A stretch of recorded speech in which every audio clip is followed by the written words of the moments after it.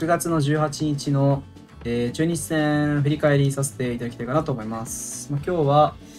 石川が6回2失点のクオリティスタート、しかもフォアボールなし、多分今月フォアボール1個も出してないぐらい、そんだけ安定感があるかな。確か、あと失点もね、全部ソロホーム、てかホームランだけかな、失点。フォアボールなく失点がホームランだけで、ランナーもそこまで許さず、タイムにも打たれない。めちゃくちゃ安定感ありますね、今。正直、まあ、次、今、小川の次に安定感があるかもしれない。まあ、田口が最近、まあ、まあ、田口もまあ悪くはないけど、石川がなんか安定して6イニングぐらい投げれそう感ある。まあ、前、なんか確か前々回は5イニングなんですけど、まあ、あれウテンコールドの完封っていう形になったんで、多分雨降ってなかったら6イニング絶対いけただろうし、めちゃくちゃ安定感があるんですよね。コントロールもめちゃくちゃいいし。で、今野かな？今野が、確か今、15試合連続無失点中らしくて、めちゃくちゃ安定感あります。まあ、交流戦もね、確か8登板ぐらいして、もちろん無失点続けてるんですけど、この D、この交流戦始まる前ぐらいから、まあ、今日、今日までにかけて、めちゃくちゃ安定感あります。防御率で見ると、まあ、一応2点、今、その、更新されてるかな？更新されてて2.57なんですけど、なんか、失点がね、序盤に横浜戦で2回ぐらい燃えたんですよね。4失点、5失点とかを2回ぐらいやったんで、まあ、若干防御率的にはちょっとなんか高めにはなってるんですけど、今、正直、マクガフ並みに安定してる。多分清水、もなんだかんだ、非、非本塁打が多いんで、多分防御防御率的に見ると、まあ、清水の方が低いんですけど、安定感とかで見ると、正味今野今野の方が清水とかよりは安定感がある可能性がある。まあ、その清水も今日ちゃんと 11, あの11球で抑えたんですけど、まあ、その清水が投げてる時の3位に、あの3アウト目ですね。これセカンド守備山田テストのめちゃくちゃうますぎるセカンド守備、センター方向を抜けてそうな球をちゃんと取って、しかもセカンドにしては結構遠投というか難しい体勢から投げたんですけど、あれめちゃくちゃセカンド守備、多分今日のプレーオブザデーかなっていうくらい、マジでうまかったですね。まあ、それもありながら三者凡退っていう。で、マクガフが最後に三振で締めるって感じですね、ピッチャーは。で、バッターは、えー、まあ、オスナかな、やっぱ。オスナが6回に、あまあ、まず、まず村上かな。村上がし、あの初回に塩見が出て盗塁してからのスリーあのツーラン。しかも確か、柳が、柳から3本目のヒあのホームランのはずなんですけど、柳確か今シーズン6本目なんですね、このホームランが。い本塁打が、あ、7本だ、7本だ、7本中3本が、えっ、と、柳から、あの、村上が打ったホームランっていう。村上、た確か2019年もね、村上の初の 2, 2打席連続ホームランが神宮の柳からなんで、なんか、もう通算で見ても柳と村上かなり相性がいいんですけど、今シーズンもしっかりホームランを打つっていう。で、まあ多分村上の相性がいいっていうのがやっぱ中心にはなってくると思うんですけど、柳が今シーズン失点した、えっと、21失点かな ?21 失点中、えー11失点が、えーヤクルトらしいですね。まさかの。ヤクルトが今シーズン、じゃ柳は基本的にどの球団も抑えられてるんですけど、ヤクルトだけ11失点奪ってるということで、かなり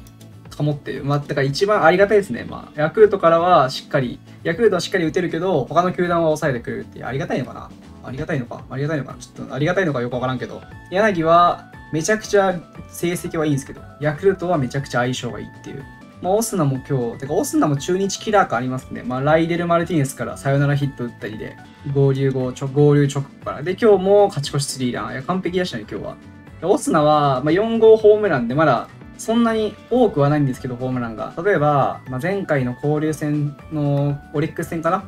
あの時も、あの、センター方向にぶち込んだ時の確信歩き、いや、めちゃくちゃかっこいいんですよね。オスナが、なんか今、まあ、ヤクルトで今確信歩きする選手って今、今、今ヤクルトに在籍し在籍してる選手の中だったら、まあ、村上ぐらいしかいないと思うんですけど、左の村上、右のオスナって感じで、この確信歩き。村上はどっちかっていうとなんか、バット、なんで、なんでだ、バットを持って歩いて、途中でふいってなんか投げるタイプじゃないですか。でもオスナは、まあ、今日みたいにその打った直後にもうふってバットを置くっていう。なんか、確信歩きもなんか結構種類があって割と面白いんですけど、このオスナはね、そのバットをすぐ振って置く系の 確信歩きマジでかっこいいですね。山田テスとか、確信歩きしないですからね。なんか、右バッターで確信歩きっていうと、まあ、バレンティンとかしてましたけど、割と珍しい、まあ、ヤクルトでは珍しいんで、まあ、ちょっと、これからもちょっとオスナの確信歩きが見たいなっていうところはありますね。で、あとは、まあ、中村が3打席連続ツーベースを打つなど大活躍っていう感じで、まあ、今日しっかりその、ま、あの、中村が2打席連続ツーベースを打ったからこそ、まあ、オスナとしっかり勝負して、あの柳と柳の木下のバッテリーが中村が打ってたからこそオスナともちゃんと勝負しなきゃいけないってとこで多分そそこから生まれたホームランでもあると思うんですけどそのことから考えると中村のホームラン中村の 2, 打席目までの活躍も大きかったんじゃないですかね。まあ3打席目もツーベースだったんですけど。なんかサンタナの調子が今あんまり良くないっぽいんで、確か6試合前に4打数4安打言ったんですけど、まあ、そこから今日までの5試合が確か5試合で1安打、2安打、3安打ぐらい。そんな本当に全然打ってないんで、で今日もなんか、サンタナ結構ボール球見極めれるはずなんですけど、まあ今日は結構柳のハーブとかかな。だいぶ振っちゃってたし、なんかあんまり調子良くないのかなっていう感じはあるんですけど、なんか今日は中丸6番がだいぶハマったんじゃないかなと思います。あ、そう、なんか素手、なんか素手でバット持ってたらしい。なんか、なんなら日曜日からその素手で持ち出してたらしいんですけど、もう僕気づかなかったんですけど、まあ実況の人が今日言ってて、素手、なんか今素手でサンダーはバット持ってるんですよね。じゃあ、先発を見せていきたいかなと思います。明日の先発は、えー、小川と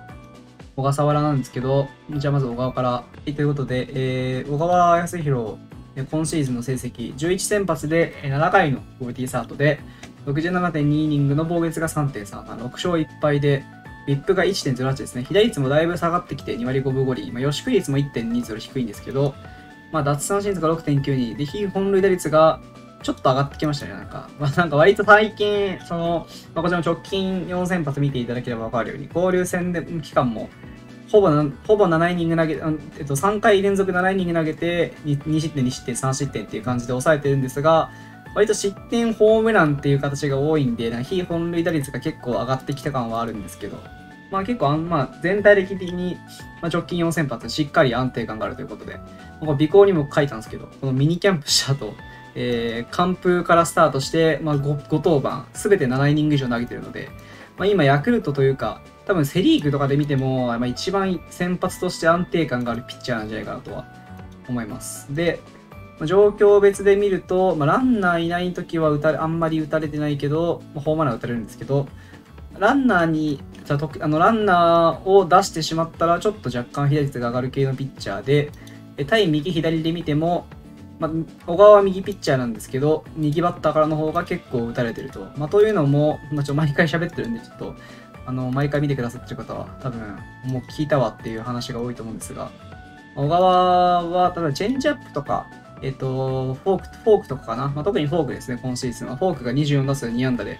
ゼロ、あの、被打率0割台なんですけど、この落ちる球が結構今シーズンめちゃくちゃ機能してて、なんか落ちる球っていうのは、右ピッチャーはなかなか右バッター相手には投げづらいっていうのがあるらしいんで、なんかそれで多分、あの左バッターはしっかり、えー、とこのように抑えられてるけど、右バッターが若干今シーズン苦手にしてるのかなって感じ。まあ、投球割合が、えー、ストレート45%、スライダーが13%、チェンジアップが12%、カットボール11%、フォークが10%、シュートが5%、ナックルカーブが4%、まあだいぶ多彩ですね。なんか、でも右、多分、なんか僕のイメージ的には、右ピッ、対右バッターの時は、あのー、割とまっすぐスライダーでほぼな、ほぼ投げてる気がするんですよね。左バッターの時は、まあ、けまあ、もちろん右バッターの時も落ちる球投げるんですけど、どっちかっていうと右バッターの時の方が、球種のバリエーションが少ないようなイメージがある。まあちょっとイメージなんで申し訳ないんですけど。っていう感じですね。で、えー、っと、小笠原ですね、次は。小笠原の、えー、今シーズン成績が11先発で、クオリティスタンド、クオリティスタンドがなんと8回。11先発中、クオリティスタート達成できなかったのは3回だけっていう。で、イニング数が65イニング、防御率2.22、4勝2敗で、えー、被打率がだいぶ低くて2割2分5厘なんですが、まあ、予祝率が若干高めの3.74。で、奪三振率が7.48の非本塁率が0.69。で、直近4先発で見ると、まだ、まあ6、まあ、6イニングほぼ投げるし、まあ、今日も普通に安定してない結構。まあ、クオリティスタートで言ってもなんかそんなに長いイニングは投げる感じはなさそうですけど、まあ、ただなんか、交流戦に関しては、この3先発で18.2イニングかな。で、実績点が2で、防御率が0.96となっております。で、えー、小笠原は、まあ、さっきの小川とは対照的に、ランナーがいるとき、ランナーがいないときが、まあ、一番被打率が高いんですけど、ランととランナーを置いてしまったときの方が、えっと、被打率が低いといった、まあ、そんなピッチャーになってます。で、小笠原左ピッチャーなんですが、まあ、こちらはセオリー通り、左バッターの方が抑えてて、1割7分6厘。ただ、この出塁率で見ればわかるんですけど、まあ、若干この、えっと、出塁率で見るとそんなに変わんないじゃないですか、この、まあ、なんだかんだ左の方が低いんですけど、打率からの出塁率の上がり幅が結構大きい、右バッターよりも。なんか左バッターの方がフォアボール出しやすいのかなっていう感じはあるんですけど、で、結局 OPS も、まそんなに変わんないんですよね。まあ、右バッターの結局高いんですけど、だからまあ左の方が、まあ、左率的には少ないんですけど、まあ、フォアボール出したり、まあ、普通にホームラン打たれたりってとこでは、なんかそんな変わんないから OPS もそんな変わんないっていう感じですかね。で、投球割合が、えー、小笠原、えっと、まっすぐが51%、で、チェンジアップが25%で、カーブが14%、スライダーが5%、シュートも5%、で、被打率も全体的に特に変化球が低くて、まあ、ストレートも2割6分8厘そんな悪くないんですけど、チェンジアップが1割8分5厘で、スライダーもまあ10の1なんで、まあなんとも言えないですけど、まあ、カーブとかも25打数5安打で結構抑えてる。あ僕、小笠原で一番印象今シーズンあるのが、結構カーブがなんか切れてるイメージがあって、なかなか、なんかそれこそ寺島がオープン戦じゃなくて練習試合かな、オープン戦練習試合の頃に投げてたカーブをもっとなんか精度良くした感じのイメージがあって、小笠原といえば今シーズンはカーブっていうイメージが結構僕強いですね。左率で見ても25打数5安打で2割と。そういった感じでしょうか。はい、ということで結構、まあ、いつも以上にカミカミだったと思うんですけど、本日の、え振り返りとデータ紹介以上となります。よかったら高評価、チャンネル登録の方もよろしくお願いします。